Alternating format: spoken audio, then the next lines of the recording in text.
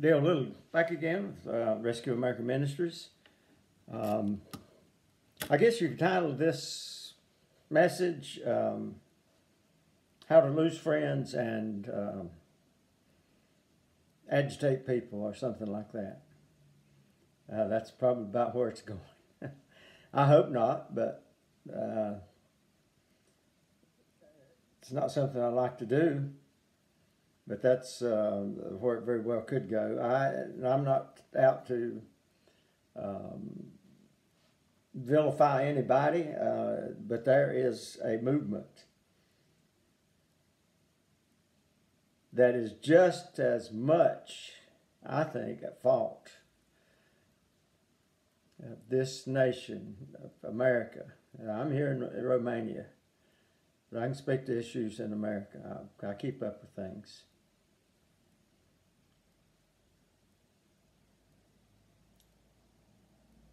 There is a movement that I think is just as guilty of causing the downfall of this nation, the downward spiral, as those that practice, well, even witchcraft. Those that push abortion, transgenderism, homosexuality sex trafficking. You say, who, who, who in the world is this? Unfortunately, they are among us. I'll go. I'll stop short of saying that they're all wolves in sheep's clothing because I, I don't know individually who's what, but a lot of them may be. It's been propagated by many of those. By those who are ignorant of the scriptures. And so they make up their own.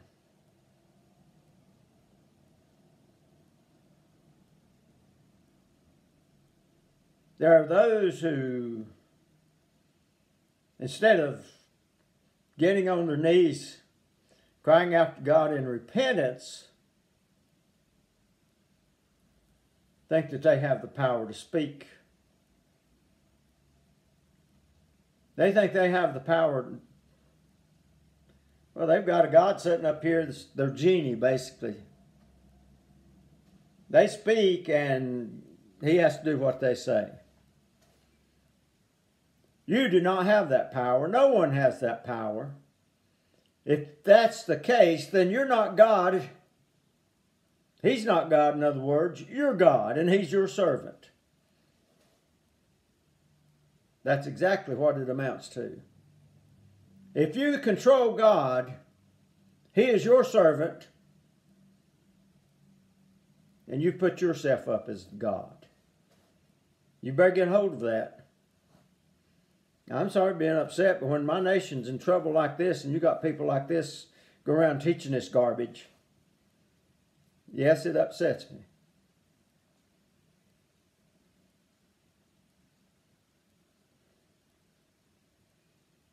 Just speak.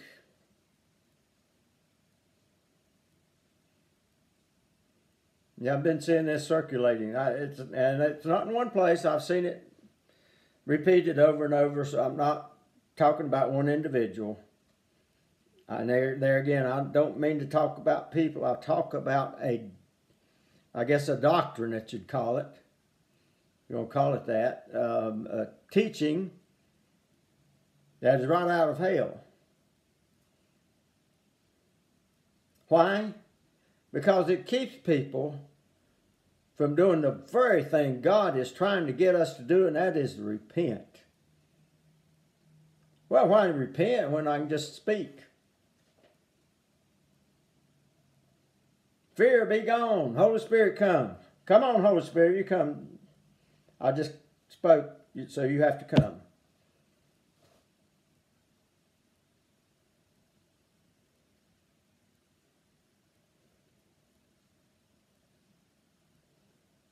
I speak life, not death, over the nation. You don't have that power. I'm sorry, you do not have that power. If you do, why are we in such a mess? If you have that power, you're a liar that you say that. Why hasn't it happened? There are those when President Trump, after the, they were just before the election was settled. Now I'm not saying it's legitimate, far from it. But there's a man in the White House that's not Donald Trump. Why didn't you just speak? That's what you were supposed to do. That's what I saw on Facebook. Just repeat after me. Just just speak this that Donald Trump's going to be in the White House another four years. Well, what happened?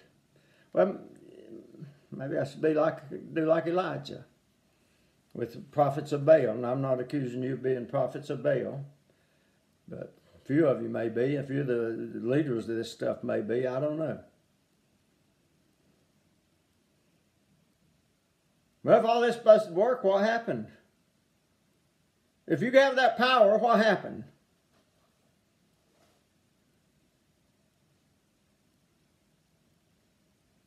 You have a bad day, or you get tongue tied. I mean, I don't see Donald Trump in the White House. Another man altogether.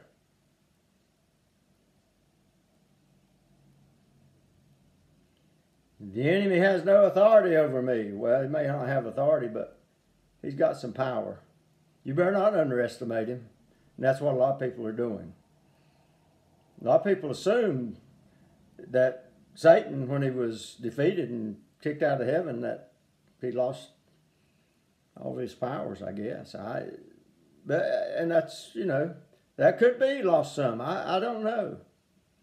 But if he did, who just how much did he lose? How much did he keep? Does anybody know? I, I don't see a list anywhere in the Bible that tells us what he kept and what he didn't. Yes, I know he's not omnipresent. He's not omnipotent. He's not uh, omni anything except bad and evil and wicked.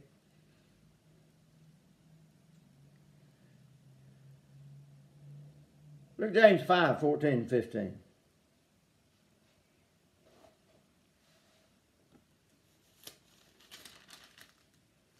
Let's see who's responsible here.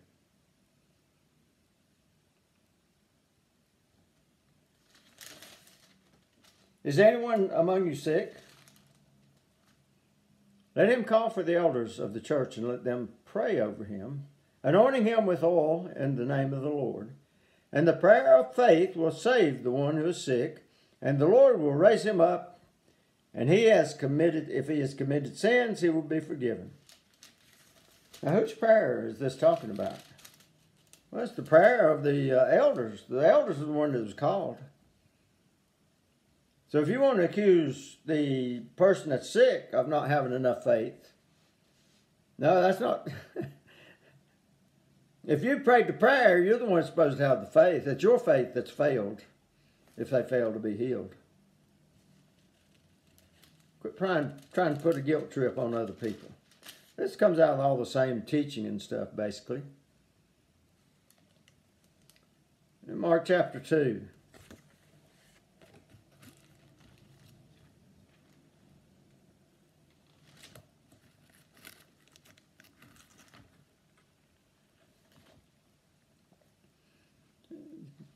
Four men brought this man and carried him up on the roof because they couldn't get through the crowd to see Jesus. They took the roof up and laid him down through the roof. So what Jesus, what does it say in um, Mark 2, chapter 5, verse 5, excuse me. And when Jesus saw their faith, he said to the paralytic son, your sins are forgiven. Now I know that if be forgiven sins, the paralytic had to ask and to be repentant. But Jesus says because of their faith, Those who let him down through the roof is was the subject of that part there. Read it. They're the subject. Because of their faith, the man was healed. So what happened? What happened if Donald Trump's not in the White House? If you made the, the, the plea and it didn't happen, don't you know what's your excuse? Well, it's just too much to overcome. Uh, wait a minute, are you serving Almighty God or who, who are you serving? You speak. Why don't you just go ahead and confess that you don't have any power other than what God, the power of God. The Word of God is powerful and sharper than a two edged sword. Your words don't mean anything. Your words are worthless. My words are worthless, but what God says is worth everything.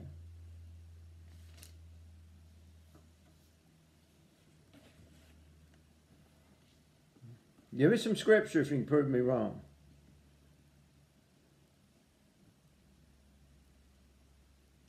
Let's look at Ephesians 6, verses 10 through 18.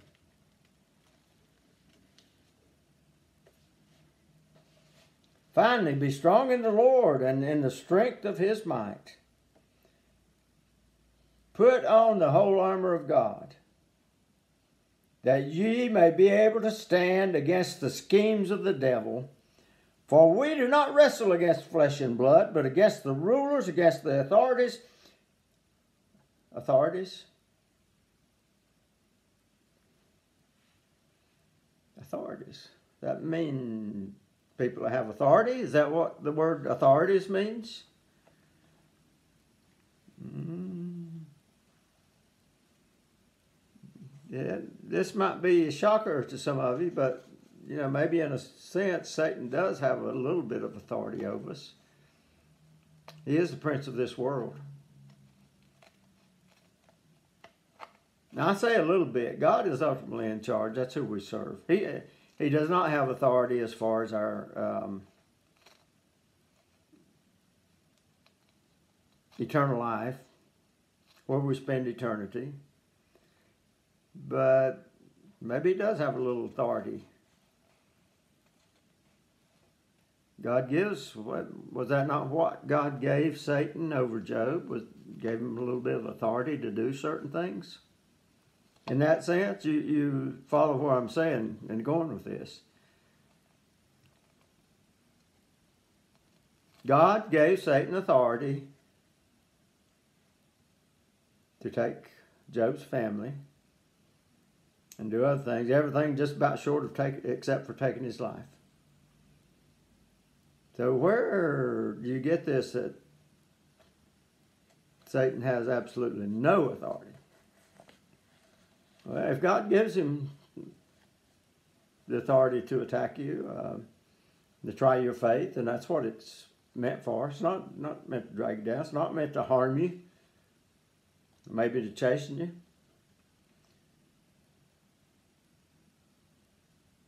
to stand against the schemes of the devil. For we do not wrestle against flesh and blood, but against the rulers, against the authorities. I didn't write this. Against the cosmic powers over this present darkness. Against the spiritual forces of evil in the heavenly places. Therefore, take up the whole armor of God that you may be able to withstand in the evil day and having done all to stand firm. Wait a minute. Why, why do you need all this if, if you have the power in your tongue to speak? All you have to do is speak. Why did Paul go to all this trouble of saying you need all this armor?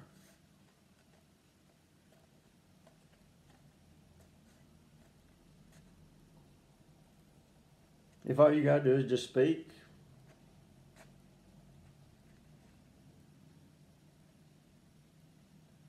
you speak life over death. Well, who have you raised from the dead, dead lately? Hmm. You have life. You have the power of life over death. You speak life over death. Who have you raised up? You don't have the power to raise anybody up. You don't have any power to raise the nation up, to speak it, just to speak it. Over and over and over through the Word of God, God says to repent and return to me.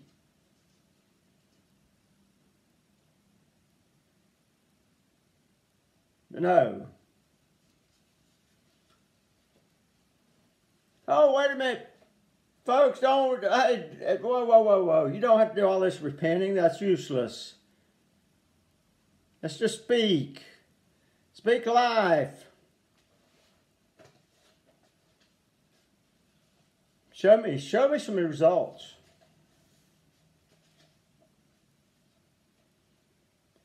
Um, I don't know. Maybe y'all been shut in for COVID for too long or something. Open up your window look outside. Look at the world, the shape it's in right now.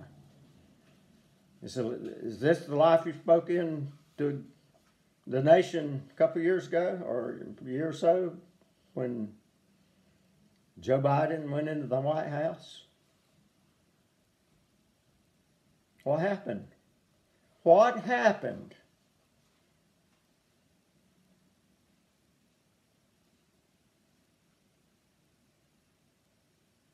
get off of this thing of just saying, well, we just speak life. I just speak life. God said that you better get on your knees, on your face before Him. Confess your sins. And yes, it, what, what kind of sin? Well, for one thing, for setting yourself up as, as God if you can say, Go fear, Holy Spirit come. If you can command the Holy Spirit instead of praying and making petition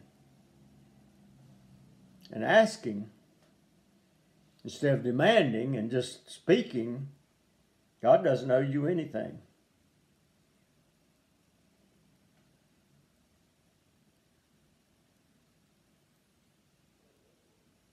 And while this nation, America,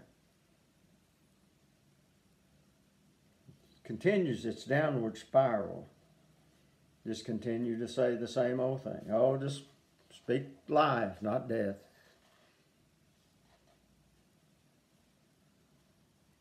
Why do you need all this armor if that's the case? Got to be a reason somewhere. Some, I'll be somebody explain that to me. Uh, all right, last place I want to go is Jeremiah, chapter 23.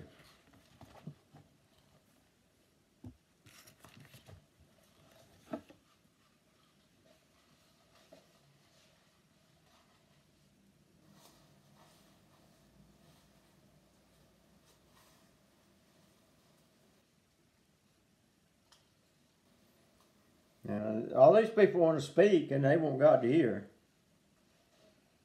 I just dealt with that a little earlier today. I, um, where was it?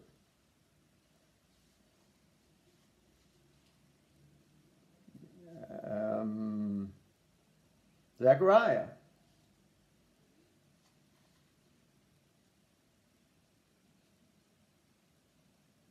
What God say? Well, let's go look it up.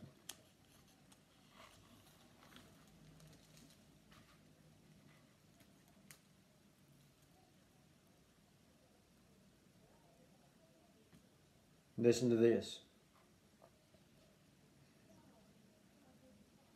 The words of, that the Lord of hosts had sent by his Spirit through the former prophets. Therefore, great anger came from the Lord of hosts. As I called, and they would not hear, as God called for repentance, and they would not hear, so they called, and I would not hear, says the Lord of hosts. Zechariah chapter 7, verse 12 and 13.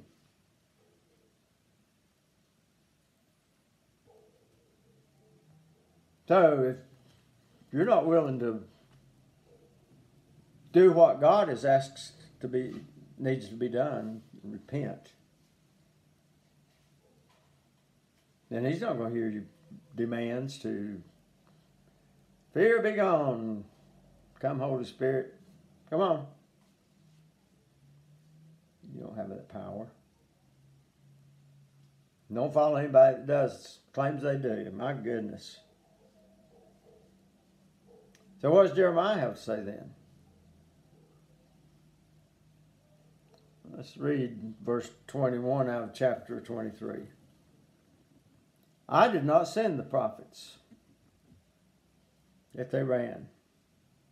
I did not speak to them, yet they prophesied. This this this is where I'm going. This forget. I mean, I'm not necessarily forget about the prophets, but this doesn't have to be prophets. All those, a lot of those that claim to have the, this power of speaking, uh, claim to be prophets. But I did not send the prophets, yet they ran. I did not speak to them, yet they prophesied. But if they had stood in my counsel,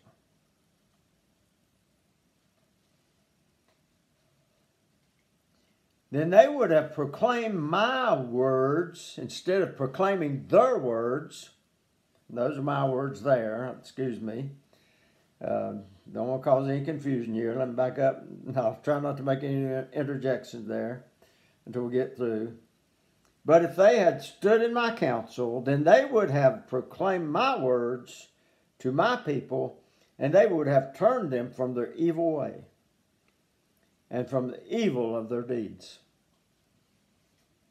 Okay, now I can say, interject what I said a while ago.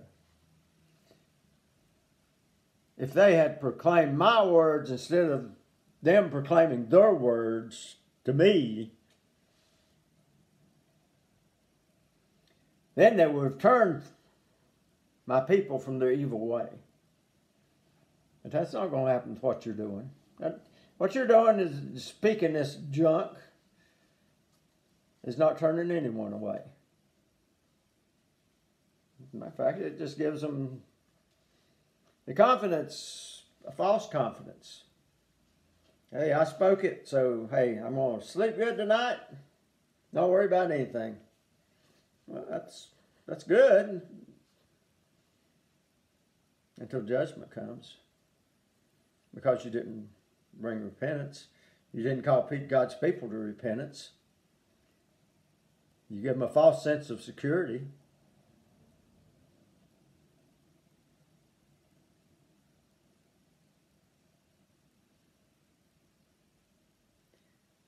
Show me. I know you got all this stuff where you people talk about you got we as God's people have creative power in our tongues. Well, how about creating some wealth for me? I mean, you know, while you're at it, I, you know, new car, new bus uh, or, or, van here in Romania we could use right now. Just uh, somebody out there just speak me one into existence. I, I mean, you know, that seems to be what you're saying. That's what some people believe. That's what they try to say. And then, of course, if they don't show up, that's going to be my fault because I didn't have faith to receive it. No, it's your fault for not having enough faith to create it. My, my, my. It's almost like, years ago, you used to get these little crosses in the in the mail that, that people organizations wanted me to send money for, and, these crosses were supposed to bring me wealth. Um, I was supposed to send some money in, pay for the crosses, and they were supposed to provide me wealth and so much money to come in for me. And I said, I wrote the people back. I said, well, and they talked about they had a limited number. I said, just, uh, you know, keep my cross there. You don't have to send it to me. just send me half the money. and I said, we'll both be richer.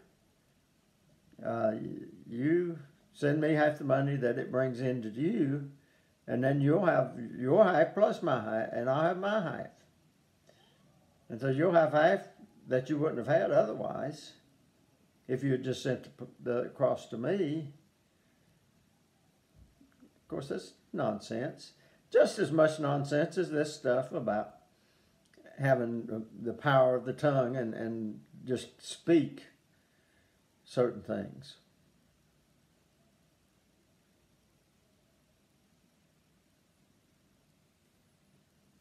There's too many people trying to do that today.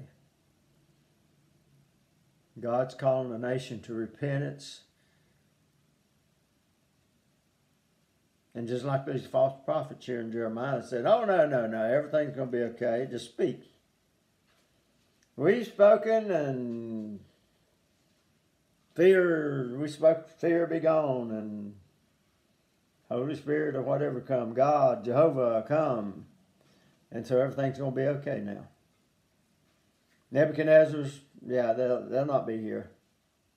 The, the Babylonians will not be here. Uh, no. That's what they were saying.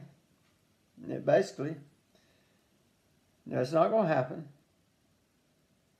Didn't matter how much Jeremiah and Isaiah and others, Ezekiel, uh, others before had talked about how God was going to judge that nation. And God judges nations. I've said that before. God judges individuals.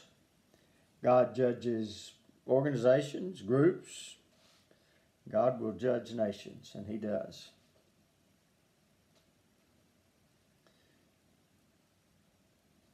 So, my invitation is to repent of what you're doing. Repent of this nonsense before it's too late. Before, like Zephaniah said, or Zechariah said, that God said that He had spoken, and people did not hear. They did not listen. And so when they called to me, then I didn't listen to them.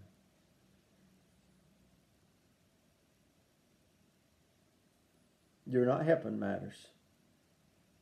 What you're doing is doing nothing except giving people a false sense of security, making them feel good. Kind like Belshazzar, as he ordered all the utensils out of the, the out of their temple to bring to a drunken party. They brought the utensils from the um, temple there in Jerusalem that had been captured years earlier.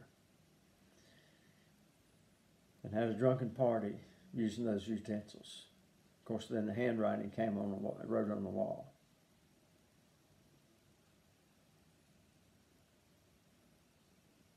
So, Bible says his knees began to shake together. His loins were loosed joints were loosed. I think he fell to his knees. The Bible says every knee shall bow and every tongue shall confess that he is Lord. One day every knee will bow like that, I think. Either, you know, we come to him now in repentance and um, allow him to work in our lives, or we reject him and when that day comes, we stand before Him. Our knees are just going, they're not going to hold us up. When, when man sees the awesome God that they tried to trivialize or ignore or even hate, then it's done. He told the um, remnants there at one time, not the remnants, but those, well, I guess in a sense they would, not the remnants that were left over the final captivity, but there were several captivities. Um, Babylon came and they took one group off the, to Babylon, And then when uh, uh, Babylon rebelled again, they came and carried more off captive. And then the third time they came and just destroyed the city, destroyed the uh, temple. And so uh,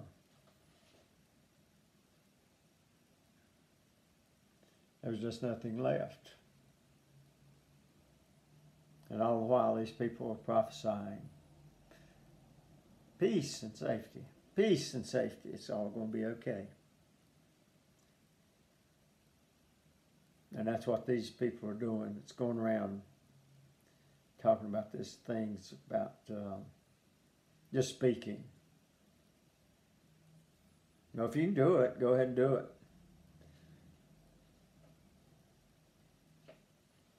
But there again, um, maybe make your list. How many times have I prophesied? Uh, well, that's not exactly what you're doing. May or may not be. How many times have you made statements and spoken and said, I speak this and not this? What percentage does that work for you?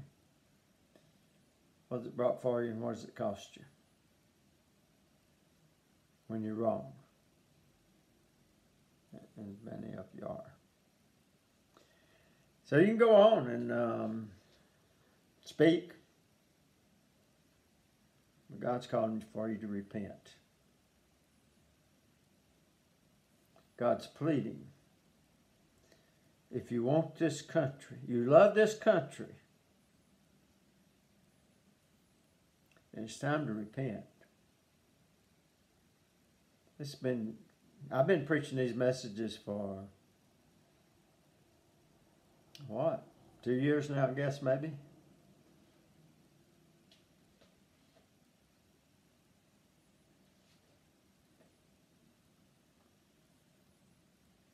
Repentance is still not coming.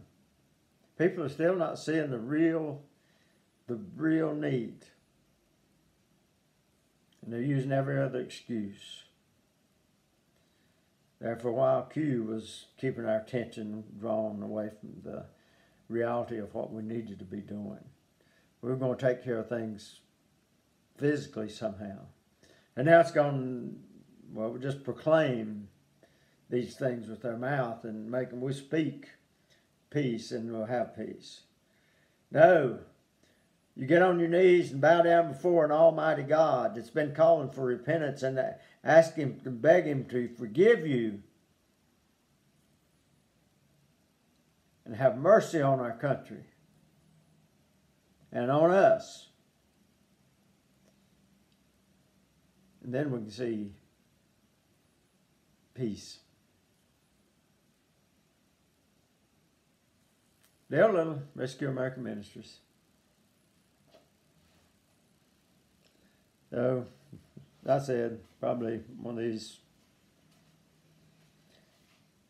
how to lose friends and agitate people, irritate people, whatever. But you know what? I, and that's not what I want to do. That's not the reason I did this. Certainly don't want to lose friends. But if I do, I still have one that'll stick with me closer than a brother. Dale Little, Rescue American Ministries.